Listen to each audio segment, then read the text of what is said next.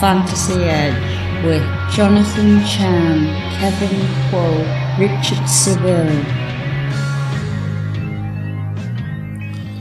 Hello and welcome to the Fantasy Edge. I am Richard Savill, FantasySixPack.net, and joining me shortly, Kevin Hou and Jonathan Chan, also of FantasySixPack.net. We are finished week one, and uh, there's only just the two Monday nighter games to uh, to close it out. But uh, it, in progress, it seems that the Steelers are leading 16 to 10 against the Giants and it looks like uh, Benny Snell is taking over the backfield as uh, James Conner is out with a sprain. So, um, Jono and Kev, J- Jono, how are you today? I'm doing pretty well. Richard, how's it going? Uh, not too bad. Not a bad weekend, all told. Still waiting for some results. Uh, Kev, how was your weekend, and is it over hey, yet? Football is back, so I'm good. I mean, I'm as happy as could be, and uh, yeah, it's pretty much over. None of these two games are going to matter much for me. Right. Um, just to get a little bit of the news before we get into our uh, into our main program today, we're going to be looking at uh, uh, what we learned, our moving on up segment, uh, our panic button. We're going to have our Mister Unlimited of the week. Uh, we'll talk a little bit about the waiver wire, players we can drop, and any any spec ads that if you uh, didn't get the guys that you wanted on waivers, guys that were kind of keeping uh, uh, past the curve on the on our radar. So spec ads is uh, one of our favorite, uh, at least one of my favorite segments. Anyways, let's get into the news. Uh, Marlon Mack, torn Achilles, out for the season. Um, kind of. Um, a, a, bit of a boost for Jonathan Taylor people, but also uh, Nyheim Hines is uh, uh, one of the uh, top waiver pickups this week. Uh, Jono Marlon Mack, do you think uh, do you think uh, we're going to see? Uh, is does that put Jonathan Taylor into high RB one territory? Uh, it definitely puts him in RB one territory. I don't know if I would put him high up there just yet, just because he struggled a little bit with his efficiency on the ground. But Rivers was Rivers. He peppered his running backs. I think the Taylor, Mack, and Hines combined uh, before Mack got hurt combined for 44% of Rivers' targets. So both Taylor and Hines are going to get a ton of work uh, in the passing game, and that will definitely boost Taylor's floor. RB1 territory, I wouldn't put him high yet until the efficiency uh, comes through. Kev, is the waiver hype for uh, Nyheim Hines, is that uh, valid? I think it is. Uh, I think um, it's it's easy to think of the Colts offense as more of a Philip, Rivers offense, as they've kind of just done everything that he's always done. So um, we saw last year that he targets his. run. I mean, we all know Philip Rivers targets his running backs a lot. Uh, Nyheim Hines is going to fill that kind of Ekeler role to Jonathan Taylor's Melvin Gordon role. So Hines is definitely worth a pickup. I doubt you'll he'll be the touchdown scorer, but he's going to be fine. Um, and this is kind of topical for you, Kev. Uh, Michael Thomas, high ankle sprain. Now, you were offered a trade. Uh, we were talking uh, a little bit earlier in our F6P chat room uh, about about this trade. Uh, Michael Thomas and Lamar Jackson for, um, and then you get DK Metcalf and uh, pardon me, yeah, yeah, you get DK Metcalf and Lamar Jackson, and you give Deshaun Watson and Michael Thomas but apparently the guy is reneging on the deal or something like that. What's going on? no, he's just uh, we're we're just talking it out. But yeah, the trade would be um, I'd give Deshaun, get Lamar, I'd give Michael Thomas, and get DK. And the only reason I'm considering it is because I'm very worried about the high ankle sprain. Um, that's typically an injury that lingers, and you know we never really know how it's going to go. Um, and obviously the the upgrade from Deshaun to Lamar is actually pretty huge if you think about it. So I don't know. I'll think about it. We'll see how it goes. Mm. Jono, is this uh, high ankle sprain, if it does linger, um, who's next up? Would it be Emmanuel Sanders then? Uh, I guess it would be Sanders as the next, like the de facto first receiver there. Uh, a nice, I guess, before the spec ads, my spec ad before spec ad would be Tre'Quan Smith. Uh, he's been there for a while. Drew Brees knows him, and it, it could work out if uh, if San- if Sanders can't handle the number one duties all by himself. And uh, sticking with you, Le'Veon Bell. Uh, not a very good day yesterday. Um, hamstring strain. Um, are we uh, rushing out to get Josh Adams? I'm rushing out to get Frank Gore, honestly. Oh, uh, Gase loves that guy for whatever reason. I mean, Gore's a legend, obviously, but uh, Gore was was the the lead back after Bell went out, so I would get Gore before Josh Adams. Kev, do you agree? I'm not wasting my time with either of them. If I if I lose my fantasy season because I didn't pick up Frank Gore, so be it. I, I'm not doing it. But no, but is is this Lev Bell? Is it is it isn't it kind of a laughable? Um, it's it's fantasy laughable because we were down on Lev Bell all season, and then but and and true to form, Lev Bell lets everybody down, and it, it just seems to me like you're right. This this is a backfield you really want to stay away from because the Jets they're just the Jets with Adam Gase, and I don't know why. You know, it's just too awful to contemplate. They are not a fantasy friendly team. I mean, okay, Jameson Crowder, yes, he, he looked good. He got a lot of targets, and I think he's about the only one that you can really uh, quote unquote trust. But uh, apart from that, um, I really the Jets are. Uh, it's tough sledding if you're if you're going with the Jets. Um, Jono, um, moving on to Miles Sanders. Now this news came up a little bit late, and some some kind of suspect that that the that the Eagles knew about this uh, when they were doing their cuts of the 53 that Miles Sanders wasn't going to wasn't going to play. Um, what's the status of Miles Sanders and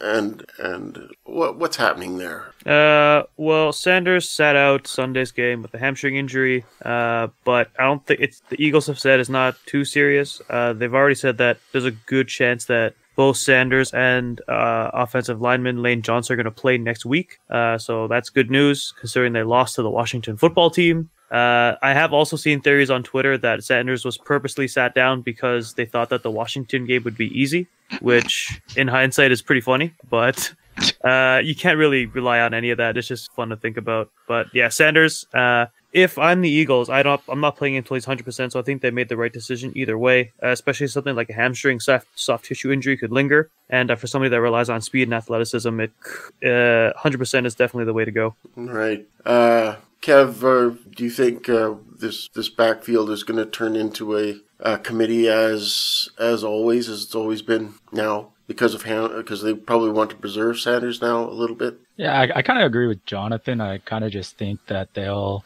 just hold Sanders out until he gets healthy. Um, they can't really afford to have any more injuries on this team. So, and then once he gets back, I like the I, Boston Scott did not impress. No. And Corey Clement is Corey Clement. So whenever Sanders gets back, it's still his backfield. I'm not I'm not wavering from that. Right. And just moving on to Blake Jarwin, torn ACL. is is he out? I, I haven't heard the. Uh, yep, out Yep. for the season. Done for the season. done for the season. So the so who's the uh, who's next up? Dalton Schultz. Dalton Schultz. Never heard of him. That is that The name correct- is new yeah, to me. the correct answer is CeeDee Lamb is next up. Yeah, that's that's the fantasy answer. That's Yeah. that's the real one. Right. Um, James Robinson, um, a surprise. Uh, didn't score, but um, looks solid and uh, very like comfortable in the uh, Leonard Fournette role. Um, he's obviously uh, a waiver pickup that people are looking to uh, looking to get. Do you think he continues as the bell cow here, uh, Kev? I mean, I think that there's no other option. It's uh, Chris Thompson, who's just a passing catching pass catching guy, and then uh, Devine Ozigbo, who's now on IR. So, well, I mean, when Ryquell uh, gets back from the COVID, oh, that's uh, that's a little harder to guess, but I would say that that James Robinson has probably done enough to keep it. I mean, the problem with Ryquell is when he's out with COVID, he's missed so much time that uh, it's just he's going to be behind in, the, in a new offense. He's going to be behind as far as pretty much everything. And I just got to assume that James Robinson hasn't done enough to lose his job, I guess. Well, he hasn't even. Yeah, he- um, um, it's a it's a good start for James Robinson, right? Uh, Jono is uh, is he a worthwhile uh, pickup? Yeah, I mean, he should have been owned in most leagues either way, unless it's super shallow. But like Kevin said, he's the only running option there, and Jacksonville knew that because they gave him 100% of the running back carries. Uh, Thompson had, I think, two receptions for four yards, something under 10 yards, I think. And um, Robinson looked good. He like he has vision. He's got speed. He actually and the Jags O line looked surprisingly good against uh, what's supposed to be a pretty good Colts front seven. So I was uh, very pleasantly surprised with Robinson, and he's definitely needs to be added everywhere after this week. Right. Um, uh, just one more thing about uh, now Jacksonville won the game. Now, aren't they supposed to be?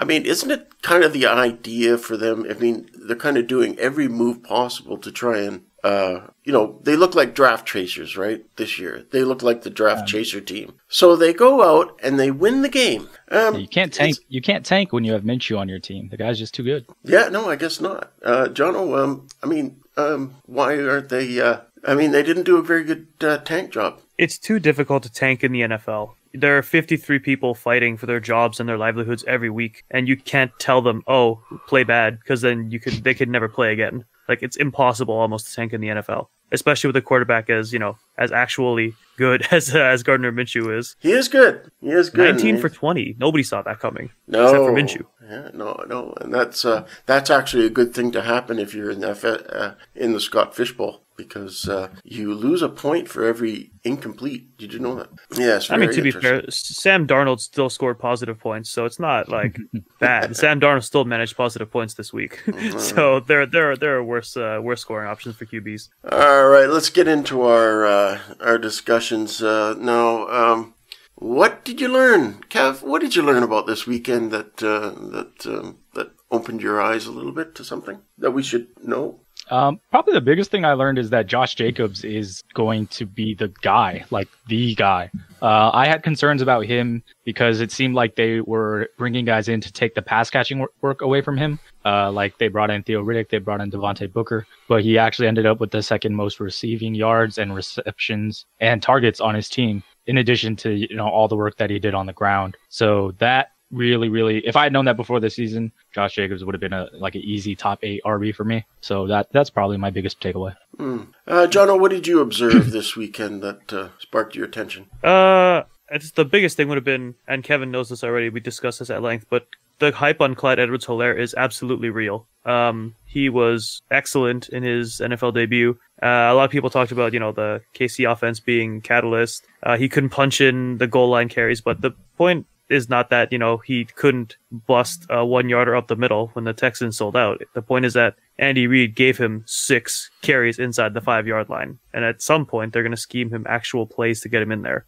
Uh, and the fun thing is that his yards after contact were so good that even if you take away all the yards before contact, he still would have been this week's leading rusher. So, yeah, top five running back, easy. Clyde Edwards Helaire. Um, the one there, I, there were a, a lot of takeaways that I mean we could discuss uh, uh, Sunday to until the next Sunday. Uh, but the one thing that I noticed in the Sunday night game is the uh, Rams' backfield is um, it's it looks as though the uh, the bell cow is going to be Malcolm Brown. You can almost count on him being the the guy at the goal, getting the goal line carries. You're gonna um, Cam Akers is going to be the guy between the twenties, and um, as for Darrell Henderson, once he gets healthy, I think he'll mix in a little bit. It won't help Malcolm Brown, but I think Malcolm Brown's still going to be the guy down the uh, uh, down at the goal line. Um, one thing that I noticed that the, the Rams offense is very, very, and, and they mentioned this, uh,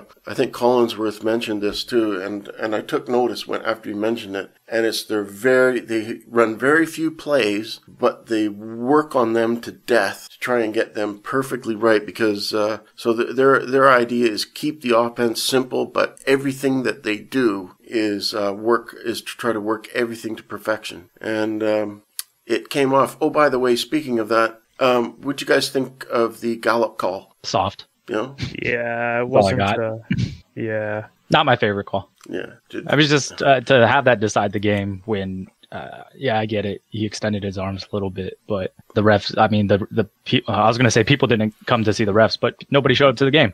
Uh, people aren't tuning in to see the refs. Uh, just let them play. yeah.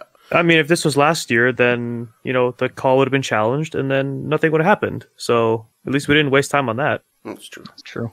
Um, moving on up. It's time for moving on up. Um, uh, Kevin, you haven't got anything on the board, but I'm sure you have somebody who's moving on up. Well, I'll start with you. It's not on the board, but but I, surprise us with who your moving on up guy is. Who's moving on up this week for you? And Um, don't pick what we've picked. I'll go with the homer pick. Moving on up for me would be J.K. Dobbins. Uh, I really just didn't. I mean, it's still someone we I kind of have to we still have to look at because this game wasn't exactly a close game. But I definitely didn't expect him to get as much work and definitely not as much red zone work as he did. Um, and he thoroughly outplayed Mark Ingram, who just had a horrible game, uh, 10 carries for 29 yards for Ingram. So Dobbins is someone. I mean, he looks good. Uh, he's definitely dynamic. If Mark Ingram is slowing down a bit at all, like I thought it'd be 70 30 Mark Ingram and the other backs this year. But if it's going to be closer to 60 40 or even 50 50, then Dobbins is going to be like a flex starter every week. Mm. I uh, yeah, I agree. Uh, Mark Ingram uh, uh was the I rank him as the worst uh, RB based on what he was uh, projected and for what his actual rank was. He ranked 57th among running backs and he was projected as 18th. Ouch. Um, Joe Mixon wasn't that great. Nick Chubb not a great day. We could we could talk about him perhaps later, and of course we talked about Le'Veon Bell and Austin Ekeler um, are your five backs that just did not live up.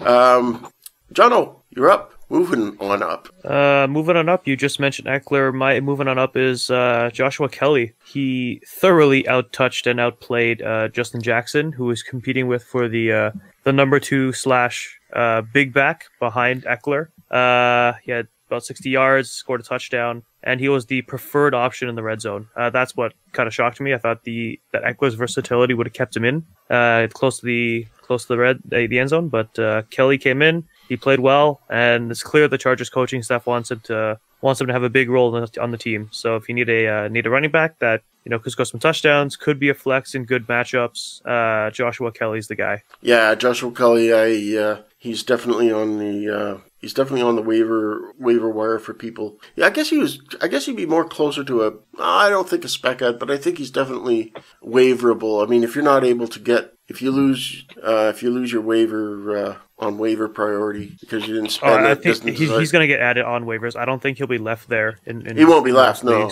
no. Um, if he is anywhere, uh, my guy is Parris Campbell. Um, a load of targets uh, in the slot. And I kind of expected this because Parris Campbell plays in the same kind of position as Keenan Allen. And and the the only problem I had, a little nervous about Parris Campbell because of injury history, and also he had that car accident late last uh, August. There was, you know, so he was in the concussion protocol, and uh, he was because he was he was my guy up until that point, and but you know injury history, but he looked great. 71 yards, and he even uh, did a bit of RPO work by carrying the ball once. So um, he looks good. Um, I think he's a guy that you've got to add. Um, any comments on Parris Campbell, Kev? Yeah, Parris Campbell is uh, kind of like a breakout potential star this season. He was a second round pick last year, and he just got hurt. And so, you know, in his second year, theoretically, he should do better. So I'm not too surprised to see him involved. All right.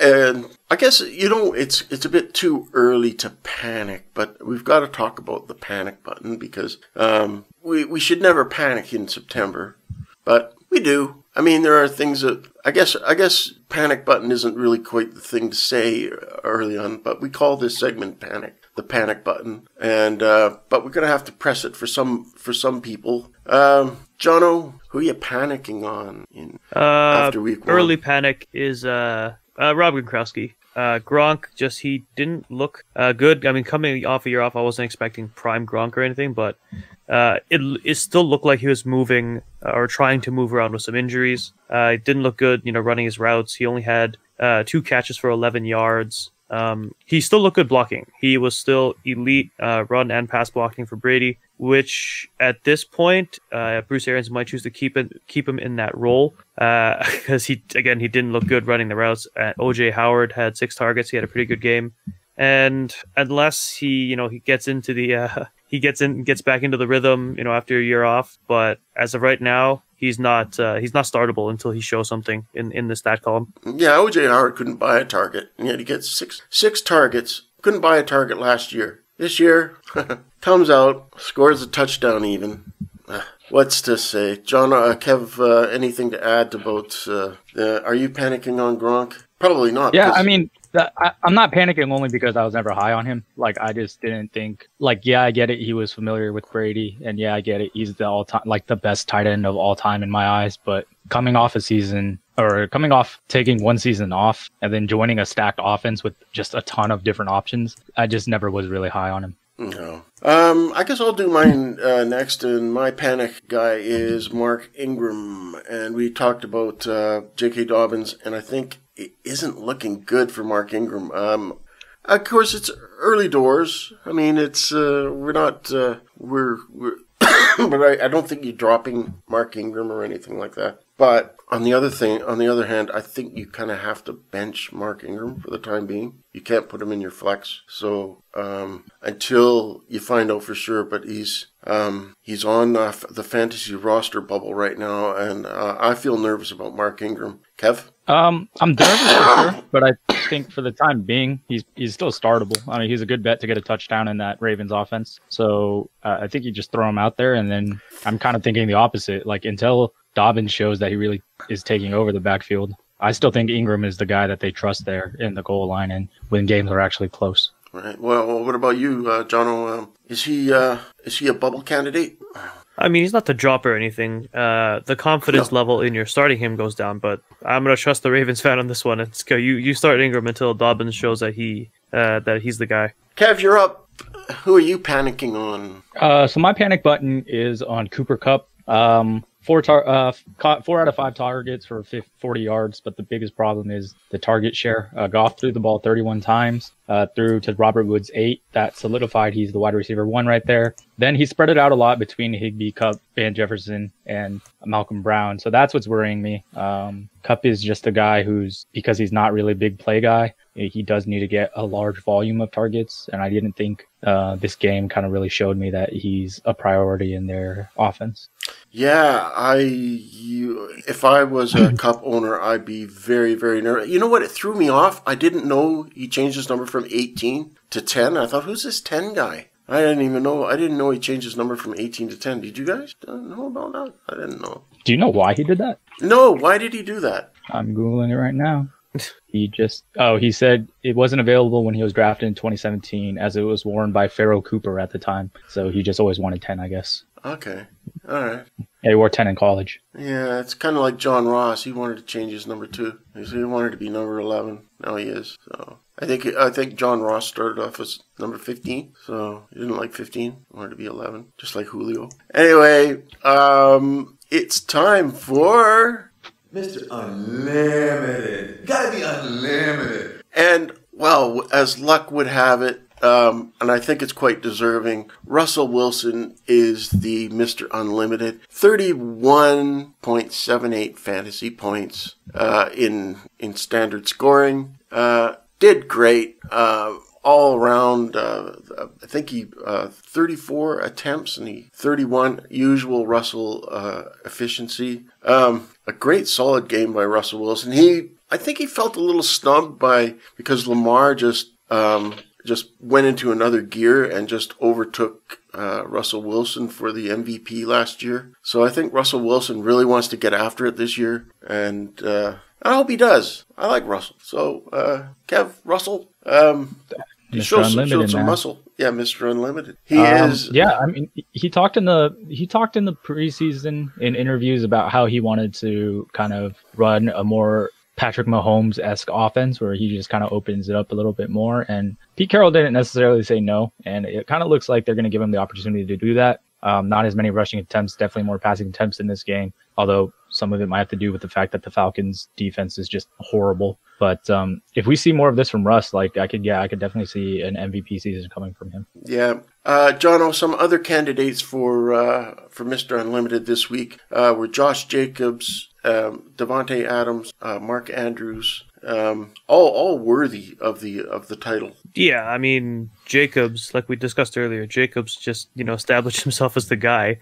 All the passing, the passing down stuff is uh you know that thing in the past. And if if if you know if it wasn't the Mister Unlimited award and uh it wasn't Russ's to begin with, I think uh, Jacobs would have been the guy if Russ didn't have such a great game. Yeah, the the Mr. Unlimited award it does have uh, Russell's face on it, and I think it's fair, and and he earned it on his first in, in week one. It's not like we're just giving it to him because uh, because he is Mr. Unlimited and he coined the phrase. Uh, it, he did earn it, so um, I thought it was fair that Russell gets our gets the inaugural uh, Mr. Unlimited. So there we are, our Mr. Unlimited. Uh, any other uh, uh, you know, some other some other candidates for that uh, I thought were great was uh, is Calvin Ridley as well. You know, they had a lot of great.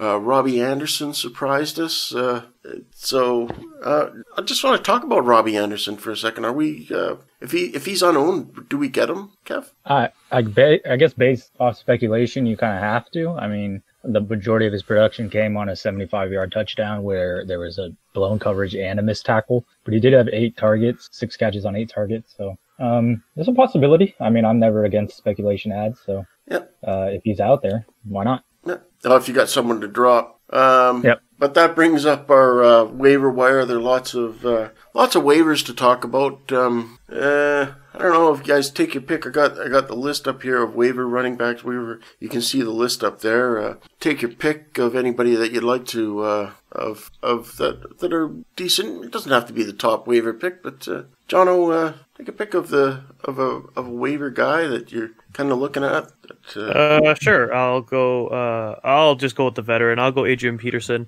Uh, walked into the Lions locker room with like a week's notice and rushed what 18 times. He had a big game, like 90 yards. Uh, and Kerryon Johnson, D'Andre Swift combined had fewer carries than uh, than Peterson. And of course, D'Andre Swift didn't help his uh, didn't help his stock by dropping what would have been the winning touchdown uh, in the end zone. Just uh, brutal game for the for the young backs all around. And uh, Adrian Peterson definitely looks to be the guy that's going to grab the lion's share of the carries in Detroit. Yeah, I don't know. Was that the biggest Bears comeback in history from uh, from being down that far in the fourth quarter? So I think I heard The something. funniest. it was. It's definitely the funniest. It's ridiculous. Like, I mean, I mean, we're kind of Well, I used. the, the Lions get burned in the fourth quarter. Like, you used to uh, Aaron Rodgers burning like he, he burned Detroit like on a hail mary. And then, then, the, then the Bears, uh, you know, make this uh, make this massive uh, rally to come back and win the game. and like late in the fourth, I mean, this wasn't just this wasn't just like early in the fourth fourth quarter. I mean, they were they had to. I just don't know. It's just like a total collapse, a total joke. The Matt Patricia team, just yeah. But you're right about uh, Adrian Peterson. I just want to point that out. Yeah, uh, Adrian Peterson definitely uh, worthy of the the pickup. There's so many. Um, I'm going to take Peyton Barber. You know, I made a mistake. Uh, Bryce Love was, and I have to say that. Uh, well, it's it's my fault for taking Joe Bond's advice because. Because Joe Bond kind of was promoting Bryce Love. Because I mean, I got to take Joe Bond because I mean he's he's he's he's the he's our leader, as our uh, he's the leader of the of the pack, as say, as we say, and also he's uh, a fan of the the Washington football team, formerly known as another name. Uh, but Peyton Barber came out and and it looks like it's going to be uh, a Peyton Barber SZN, right? Uh, is that is that where, is that how it goes, Kev? Correct. Pey- season. season is it Peyton Barber season? Just season. It is not Peyton Barber season. We do not care about. We do not care about Washington running backs on the fantasy edge. Not really, not really. But you got to admit, Bryce Love is a bust. Oh yeah, of course. I mean, he was again. We don't care about. Why, why are we even talking about this? We Did, don't care didn't about somebody in, in, in, in especially the third guy on the depth chart.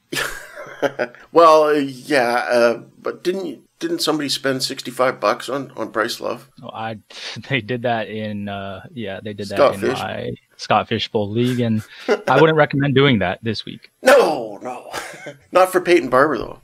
I wouldn't. I wouldn't spend. do it for any Washington running back. Why, why, why would somebody spend sixty-five bucks on Bryce Love? I just don't. It just doesn't make sense. I spent. I feel bad about spending six bucks. No, Hey man, I just let people run their teams however they want to run them, and then I'll just sit back and reap the benefits. yeah. Have you got a uh, anybody? Okay, uh, you got a have you got a waiver running back, Kev? I think you Sure. uh, Uh, yeah, I don't know how you knew it was going to be a running back, but Well, we're were correct. we're. Uh, I didn't know which, um, where we were going to start, but Jono started with running back, so I thought we'd do the running back waivers oh, we're first. doing each position. All right. Sure, well, my sure. running back would be Malcolm Brown. I I don't know. He probably is owned in more than forty percent of leagues, I would guess. But in those forty percent of leagues, you got to go out and get him. I, I think the Rams running back position is one of the most valuable positions to own in fantasy football. right. and it looks like he's going to be the starter there. So as long as he's going to be the starter um, and he's going to handle the majority of the touches, then like you, you saw, the upside is there because Sean McVay is a genius.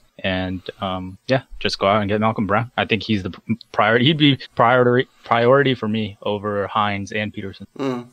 Yeah, uh, of course, naturally. Uh? Yeah, yeah. He's got. A, he should be priority over Hines. Uh, Hines, uh, Dobbins, uh, as, as, John mentioned, Kelley. Just some of the other names I'm just throwing out there. Chase Edmonds, uh, another name uh, you'll be looking to pick up. Uh, Jerick McKinnon, an interesting, uh, an interesting pick. He still looks good. I kind of thought time would pass him by, but apparently not. Uh, Josh Adams, as we mentioned. Uh, I just want to. How about uh, Myles Gaskin, Jono? I mean, that was a weird one. Everyone was debating all week about Jordan Howard versus Matt Breida, and then Gaskin gets uh, the majority of the snaps and the and the touches. Maybe it was just uh, something to throw off the Pats defense, but Gaskin didn't look bad. I'm not gonna say he looked better than Breida or Howard, but like he didn't look bad. And if uh, Brian Flores wants to give him the touches, then you have to uh, try and follow them if you're desperate at running back and you're an idiot that drafted James Conner and Le'Veon Bell like I was. So well, you know. uh, Jordan Howard didn't look that great. I mean, okay, Howard scored a touchdown, might have saved your fantasy bacon, but I mean, all in all, it just didn't look. And Breida was nowhere. Yeah, you know. So, but Gaskin, uh, I don't know. Um, but anyways, and to round out our waiver running backs is Carlos Hyde was uh, another guy that you can be looking. Okay, uh, Jono, uh, pick a pick a waiver wide receiver we can focus a little bit extra time on. Uh, I'll try to go with one we haven't really uh, we haven't talked about. I'll go Russell Gage. Oh. Uh, um, hundred yards. Yeah, big game. Uh, I believe it was twelve targets, uh, over hundred yards. Uh, he's done. He did this a couple times last year as well, and then he got hurt. But uh, the Falcons look like they're going to be uh, a throwing team. Uh, of course, with Matt Ryan there, they're behind, but uh, they will be a pass first team, of course. Uh, Todd Gurley is not a huge threat uh, in the running game. He was last among qualified running backs in yards yards per route uh, last year out of the backfield, and he had five catches for one yard on Sunday. So he's not exactly a threat to take a ton of uh, a ton of yards and a ton of moving there. So I think uh, as the number three receiver, Gage is a is a good option if you're in a deeper league or you need a a flex in case of injury or something. All right. Um, uh, yeah, I, I thought that Russell Gage, and you know, three Ridley, Julio, and Gage all went over. I don't know how. I don't know how many times that has happened in history, where in one game three receivers go over 100 yards. I'll have to take. I'll have to check the. Uh, I'll have to do a search in uh, Fantasy Pro Pro uh, uh, Pro Football Reference and do a search to see um, how many times that has happened. I don't think it's. I think it must be pretty rare, Kev.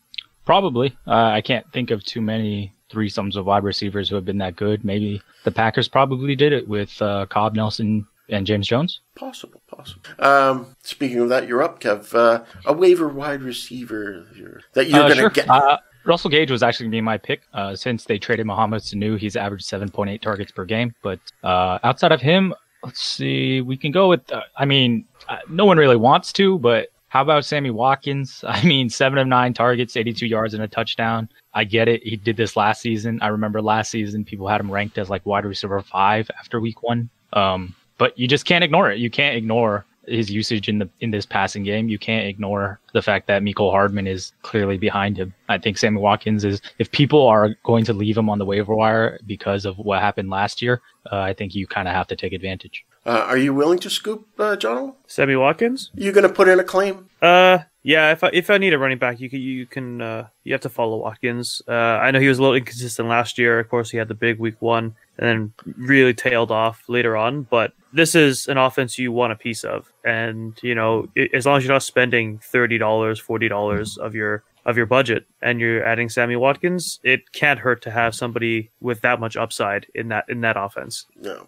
I am going. Yeah, and that's right. And you, uh, the the key point there, of course, is the offense, which is the Kansas City Chiefs, and he uh, he looked good. But then again, he looked good in Week One last year, and then following up with practically nothing, from which which kind of destroys a lot of people because you end up holding and holding a guy and waiting for him to go off again, but I don't know. Uh, my guy's going to be Marquez Valdes Scantling. Uh, really, um, a, a, an outside choice for the for the Packers, but um, and there was a bit of well, not coach speak so much as quarterback speak about him. Um, that Rodgers was uh, um, quietly he was quietly impressing um, Rodgers throughout uh, training camp, and uh, it showed on the field. He's uh, he's got a lot more confidence in MVS right now. So um, I think Lazard is still the uh, number two there, but uh, Marquez Valdes Scantling should be on uh, uh, your waiver list of, uh, of, of guys to pick up this week. Um, so uh, I don't know if you're any comments, but he's definitely getting targets and he's getting looks. He's getting good looks as well. So um, it seems to be what Rodgers is saying is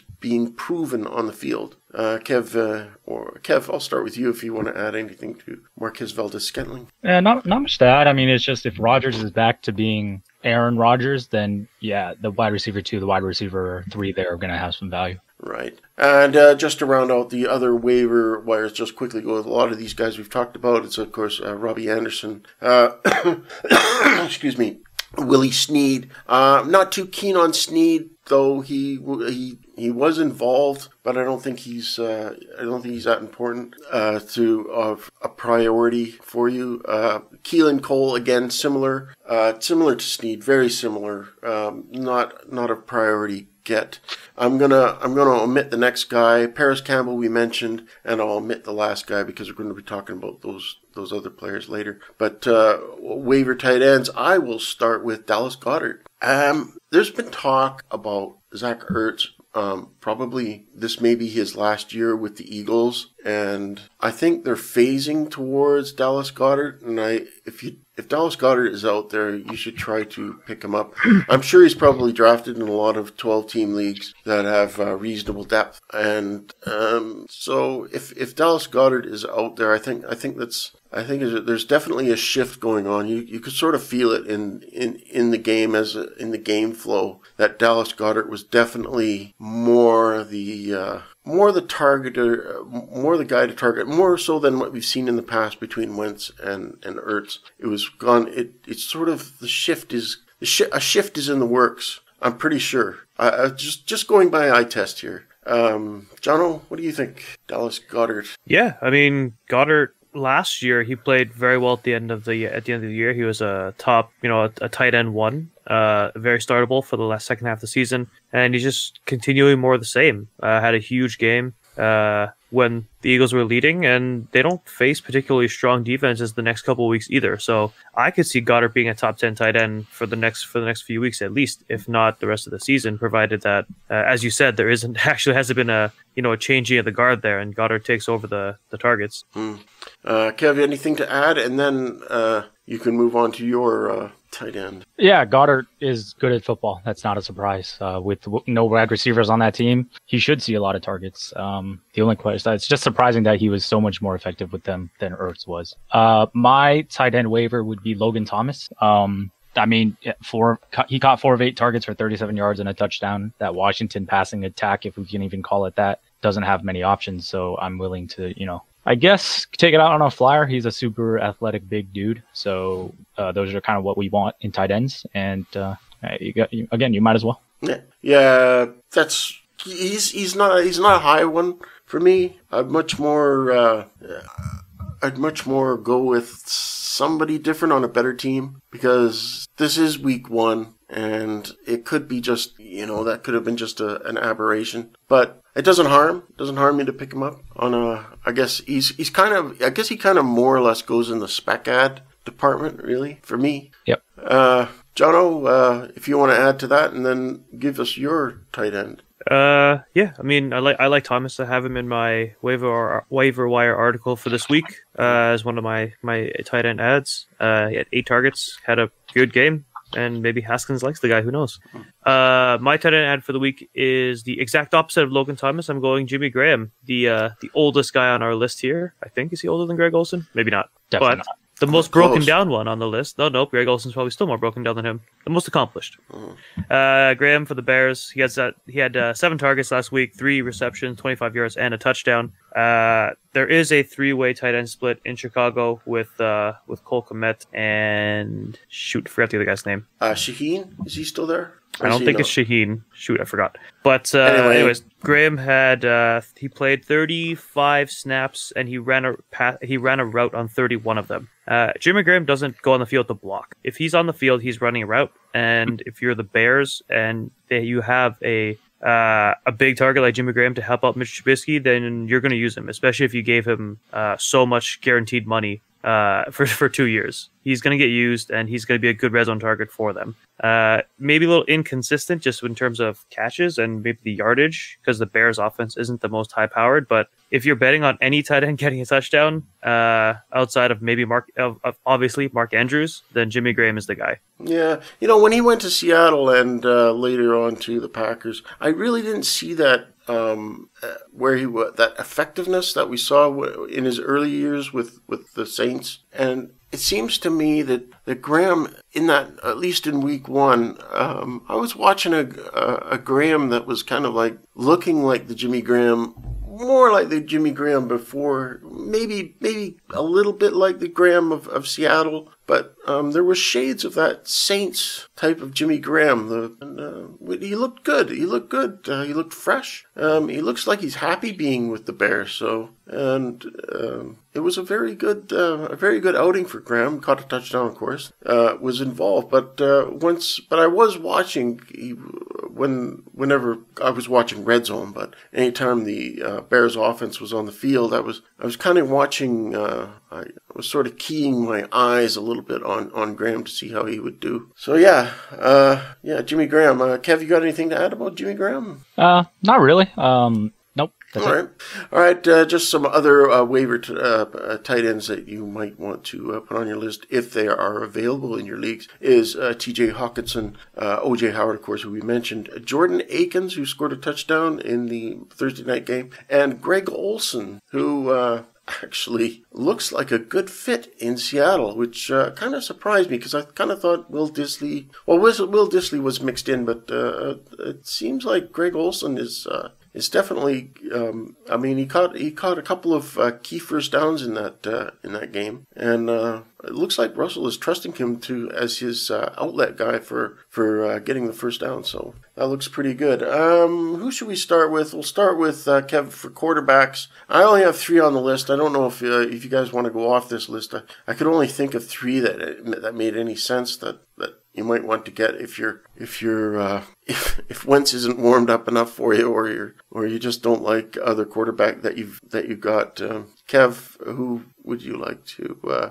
if you need a quarterback and you didn't, I mean, the one guy I'd be willing to consider is Minshew. I just think everything that we kind of thought about him going to the season is is pretty much true. Like their team is going to be horrible. I know they beat the Colts, but they were playing from behind the whole time, and that's what we want from Minshew. Um, yeah, he threw for 173 yards and three touchdowns. Is ultra accurate. He has a decent amount of weapons around him, so I think he's a good pickup pretty much. I I wouldn't say every week, but if the matchup is soft enough or the other team is good enough, like he might be worth it. uh, Jono, did you uh, join a public league and draft Gardner Minshew in the first round? No, unfortunately, that only qualifies for uh, the U.S. Canadian residents do not qualify for that, so Ah. unfortunately, I do not get a free case of beer. All right. What about you, Kev? Didn't you didn't? You didn't No, I didn't. I don't. I don't drink beer anymore. So Oh, okay, fair enough. Uh, no, I didn't. I guess. Uh, I guess there's no point. But uh, Gardner Minshew, yes, uh, look good. I mean, he's won the game for the for the uh, for the Jaguars. Good for them. Um, I'm gonna take. Uh, I'm gonna take Teddy Bridgewater. Um, Teddy Bridgewater uh, really uh, works in the offense. The only problem with Teddy Bridgewater is, I think uh, he might be hurting the value of uh, of DJ. I think, and that's not good for people. I think uh, because he's not.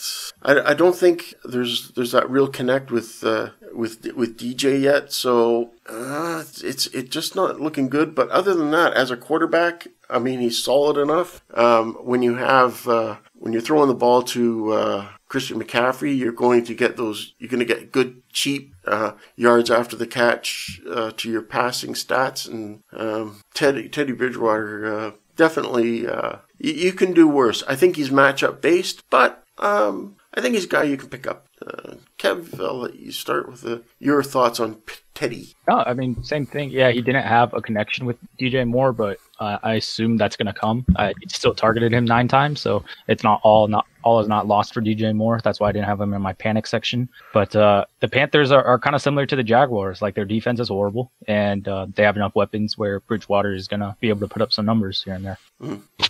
And uh, Jono, uh, your t- thoughts on Teddy Bridgewater, and you can talk about your next guy. Yeah, I mean, like you guys said, there's the chance that Bridgewater can be a serviceable guy, but there's nothing nothing new I can add uh, for for Teddy Bridgewater. Just that the defense is going to be bad, and he's going to have to throw it at some point. Right, John. Although you need a quarterback, your your your other quarterback sucked, so you want to get a different one. If I need a new one, Yeah, if you need a new one. uh, on. I'm going to go off our list here and go with Philip Rivers. Uh, oh, okay. well, Brady's 97% owned in Yahoo, so can't go with Tom Brady. All right. Oh, is he ninety five percent? I see. I didn't know. 97% owned in Yahoo. Can't exactly pick up Tom Brady. No. Uh, Rivers is 27% owned in Yahoo. Uh, as I mentioned at the top when talking about Jonathan Taylor and the injury to Marlon Mack, uh, apparently the the uh, Colts offense has gone to a pass heavy offense. Um, despite you know they had the lead in the first half, and Rivers still managed to throw 46 passes uh, against the Jaguars, uh, 363 yards and a touchdown.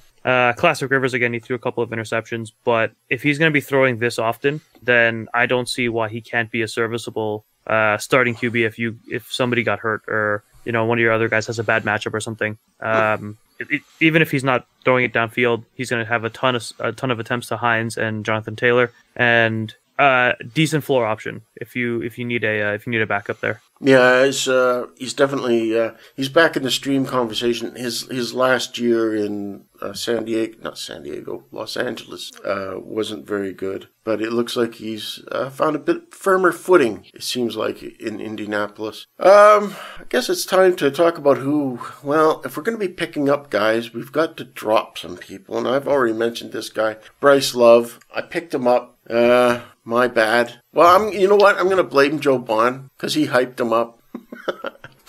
so I, I hate to I hate to blame our fearless leader, but he kind of hyped him up. I thought, you know what? I, I rarely take Joe's advice, so I thought, well, why don't I take Joe's advice? And well, of course, you know, I'll take Bryce Love, and I, and I thought, it, and it made sense, but he was a healthy scratch. Which kind of sucked. Um, there was other other guys were healthy scratches too in the in the league that you thought that would would start, but uh, Bryce Love, uh, yeah, if you picked him up on the anticipation of getting some workload in that backfield, such as this, um, yeah, yeah, dump dump your Bryce Love shares with the and and clear your conscience and a spot for uh for a new waiver guy. So. Um, uh, Kev, uh, who are you? Who do we got to drop? Who are you gonna drop? Uh, we're dropping Kerryon Johnson. Um, this might be a bit premature, but I, I tend to, to be like that. Uh, that don't make any jokes, Jonathan. Um, it's just a three-headed backfield, and it seems like he's the odd man out. Uh, I know D'Andre Swift had the drop, but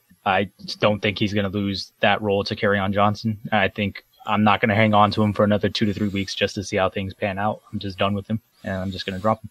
Yeah, I think it's worth it, especially with the rise of Adrian Peterson. It just seems like he's just, you know, loose change. John, wouldn't you say? Yeah, um, if you're trying to decide between you know the three man rotation between the new rookie and the dude that just ran for 90 yards, it Kerryon Johnson is the drop there. Yeah. So who you got then? Then who are you going to drop to make room? I am dropping Baker Mayfield. Uh, maybe we thought maybe with the new coach, you know, that wasn't Freddie Kitchens, he'd play well, but the Ravens absolutely just mauled him. 21 of 39 for 189 yards. Uh, bad pick. The Browns offense looked terrible, except for Nick Chubb and Kareem Hunt, who were efficient, but just yeah, there's a lot of wasted talent in that in that Browns receiving corps, and Mayfield is not somebody you can trust right now. Yeah, you know, I, I, I, I was never high from through. The, I would never draft Baker Mayfield. Uh, he's he was never going to be. Uh, he would never be on my team in any capacity. Not even as a, uh, not even as a bench stash or anything. Uh, I don't know how you feel, Kev, but Baker Mayfield, he was never going to be. It- maybe you feel differently. I mean, I wasn't high on him this year, but uh, at the same time, like you gotta you gotta give him a bit of a pass. This Ravens defense just they're the Ravens are pretty good at defense. They put him in a bad spot. Um, he did make some ridiculously bad throws, but um, like he missed OBJ. OBJ should have had like a hundred yard game. Yeah, he was a panic button actually for some people. Um, he would be, except that you know OBJ had Marlon Humphrey on him all game, and like I said, um, Mayfield was there's a there's a compilation on Twitter that I saw. Mayfield was just missing him all day. Uh, there was one really bad drop that everyone remembers, but Mayfield was was just super inaccurate all game. So I wouldn't really blame him. Um, I wouldn't blame OBJ too much. Uh, that being said, like back to Mayfield, he'll he'll have better days, but yeah, I, I agree. He's probably a drop. He's probably just at best a quarterback streamer. All right. Uh, and uh, well, we're doing good on time. We haven't even uh, perfect. Good. Um, we've got time for our spec adds and uh, spec adds. Uh, just to explain what spec adds are. Spec adds are guys who are a little bit around the curve, but are not quite guys that you're rushing out to get. It's, they're kind of like after waivers are done, you can sort of consider if you didn't get who you wanted in in your, uh, or if there's somebody else you want to drop. They're kind of like afterthought um, pickups that you know may do something. And uh, I will start with my guy Quintez Cephus, who got ten targets. Uh, he was actually in there to replace um, Kenny Golladay, who was out with a hamstring. Now we don't know about status. Uh, does anybody know the hand the status of Kenny Golladay? Is he going to be ready for next week or? Uh, I think it's still up in the air. Typically, reports don't really come out over the weekend. Yeah, so it makes Quintez Cephus a bit of a. He's a rookie. Um, I think sixth round or something like that. I don't know. Anyways, he's, he's a deep, deep round rookie, but he still got targeted ten times. He got three catches out of it, but I'm sure that I mean, if you're going to get tar- targeted, he will get better. I mean, he is a rookie, so Quintez Cephus is a guy. Uh, you might want to uh, you might want to spec on. So I don't know. It kind of surprised me, Cephus. Uh, I don't know how you guys feel about Cephus as a spec a Have you heard his name before? Obviously. Uh, uh, I, I heard a little bit about him in the offseason, uh, rookie fifth rounder. But as um, a fifth rounder, right? Okay, I knew he was. Yeah, deep. ten targets, three catches, forty-three yards. Uh, speculation. Put him on the list. Put him on the spec list. Don't rush to pick him out. Yeah, and uh, well, I'll leave it up to you, Kev, for your spec. Sure. Uh, my spec is another rookie, Laviska Shenault. Um, I just kind of liked what I saw from him. Um, just uh, four tar- caught three or four targets for 37 yards and a touchdown. Had two rushing attempts. Um, four targets doesn't seem like much, but that's actually a fifth of all of Minshew's targets. Um, seems like he's kind of working into this weird rotation of DJ Chark, him, uh, Chris Conley, and uh, D Westbrook. It's, it's kind of a lot of people in that backfield, but I think Shenault kind of brings a little bit something a little bit different than those other guys. Uh, I just kind of like I don't know. I'm high on the Jaguars offense for no reason in particular. I guess besides Minshew. well, I will um, say this: Laviska Shenault is is um, like you say, Westbrook has uh, definitely uh, fallen off the fantasy radar. And Laviska, somebody asked, do you think, uh, just just a question though, will Laviska Shenault, do you think he'll get into,